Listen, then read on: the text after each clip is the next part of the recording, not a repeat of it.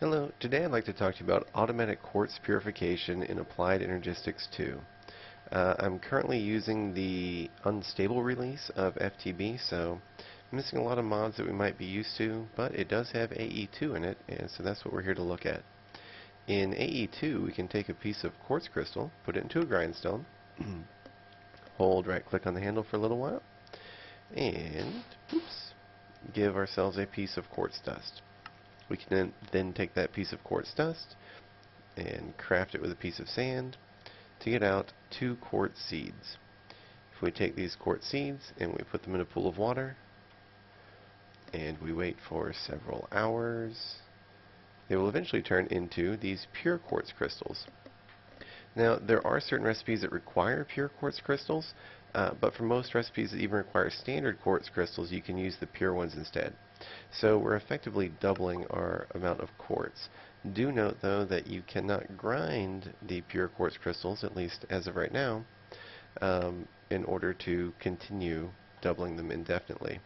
Uh, also note that 2, 3, 4, uh, if you want to turn them back into regular quartz crystals, you can do that. You just make a quartz block, and it gives you back quartz crystals. And note, it did have the amount I needed four pure, eh, or excuse me, eight pure, and I got back four standard. Uh, so it doesn't uh, doesn't give you a little cheat there.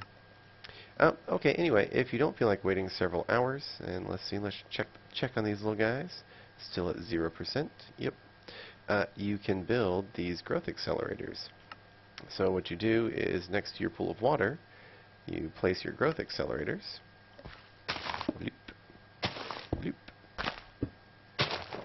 Okay.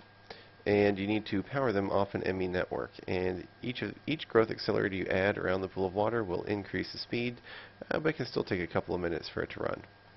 So I don't like sitting here looking at things or dropping things manually or picking them up. So we're going to automate this. Now, Applied Energistics didn't used to be very good at interacting with objects in the world, but they've given us a couple tools now. So we've got the Annihilation Plane, and this is like the transition plane from Applied Energistics 1, where if there's an object in front of it, it despawns it and puts it into your network, and it also picks up free floating objects on the ground in front of it. But now we've also got the formation plane, which will take items from your ME network and spawn them into the world, or if they're tile entities, like these quartz seeds, uh, it will just throw them into the world.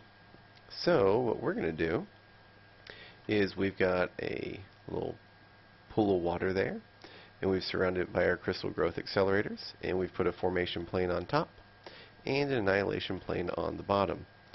So this annihilation plane is being controlled by this toggle bus, and I've built myself a rudimentary timer that looks like this. And let me just turn this guy on so you can see it work. Uh, I didn't have a whole lot of options um, in in this particular build as far as clocks go, so I needed something that would have a nice delay. Um, so I built this. It's kind of old school. If you play much vanilla, you might have might have seen one of these floating around from time to time. Uh, anyway, uh, so yeah, I just built one of these underground right here. And so that's going to have my annihilation plane on about an eighth of the time, uh, just because I've got the timers a little, or the uh, redstone repeaters a little bit imbalanced. So what we'll do is we'll just go to our, our terminal here. We're going to put in some seeds, and I've got seeds in various states. So there's some 33% grown, 66% grown. And when I put them in, they just go right out the formation plane, and they sit in the water there. And whenever the annihilation plane turns on, it grabs them all. It's got nowhere to put them except the formation plane, and so they just kind of spray everywhere. Um, but they're really in the water, believe me. Now, once they get fully grown in the water, we've got this storage bus here uh, that only accepts pure quartz crystals. And I've given a priority of 1, which is higher than the priority on my formation plane. So you may remember priority from uh, Applied Energistics 1. The higher the priority, um, it, you set a higher priority on item to ensure that the item will go there first. Uh, and even normally just saying the filter will give it preference, but just in case we went ahead and set this to priority 1. Hey, look at that. This is probably our 66% ones have already completed. Um, so I was going to show you how to link this to a, a primary network so you could do it as a crafting recipe. However, it doesn't look like patterns are in this version just yet. Um, so I did actually find a pattern terminal, uh, but it doesn't seem to do anything. In fact, if I try and right click on it, uh, yeah, I, I got nothing.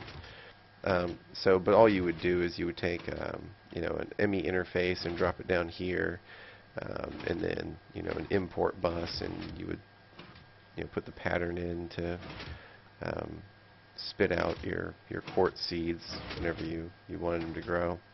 Um, we also don't have anything like industrial craft or thermal expansion to automate this grinding, so uh, that part is still manual for right now. But hey, uh, I expect that any legitimate uh, pack will, will have a way to automate your grinding as well. So, uh, as far as the growing goes, you just need a way to put them into the system. You use a formation plane on top, growth accelerators around a piece of water, annihilation plane on the bottom with a toggle bus and a timer of some kind. And that is it. Um, whenever those, those crystals are done cooking, uh, they will spit out to a storage bus, which is designed for pure quartz crystals only. Uh, and that is that. Um, I hope you find this helpful whenever AE2 makes it to a uh, more playable pack. And have a great day.